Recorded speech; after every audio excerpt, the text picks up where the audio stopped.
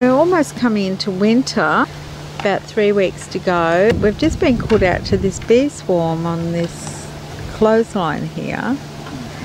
So Jeff's just come out to take the swarm away for Got these frame- people. Got a frame of brood here. There was some young larvae in it. I'm just going to rest this frame of brood under the bees. Rest it there. Like that.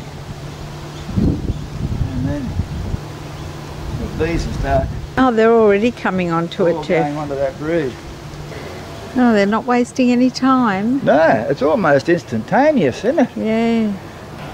Yeah, they've really come on the other yeah side. they're not going to take long to get on here. Even though it's not a big swarm, there's definitely more than a frame. There'd be a couple Yeah, of frames of bees yeah. there, because they've almost covered this frame. It's been about 10 minutes so far, hasn't it?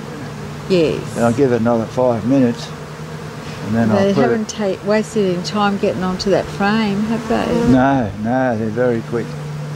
So you wouldn't be able to shake those, the way they were, you wouldn't be able to shake them into a box. So the frame of brood, I think, is about the only way you can Well, get if you them. get the queen on there, After a while, that's where the queen's going to be on that frame, on that frame of brood. Give it another five minutes and then we'll put it in the box. So I've got some lemongrass oil here, so I'm going to dab a bit of lemongrass oil on the tops of these frames here. Just a couple of drops. Another uh, bit of security. the lemongrass oil mimics the bee pheromones. Yeah. Well, I don't know if the queen is on there.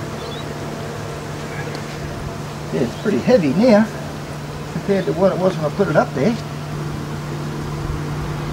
Hmm. And all I'm doing now is now I've done that, is put this lid on. Yeah. So what will happen is that smell of the lemongrass will come wafting out of that entrance. If the queen is up there, the bees will leave the box and go back to there. If the queen's down there, they'll leave up there and go down to there. The bees have all moved off the clothesline down into the box. It just happens so quickly. So it's been six days since we got that swarm and we don't really know what their temperament's like. Giving them a bit of smoke, Wilma's unprotected so I want to make sure she doesn't get stung. I've, I've added a, a box of stickies for the bees to clean up so I had a few spares. I had a mat on top there so she'll probably be in the bottom.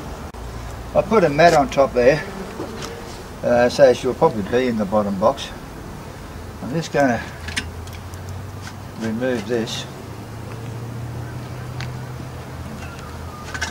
I added about four more frames, so three frames of brood and one frame with a bit of honey.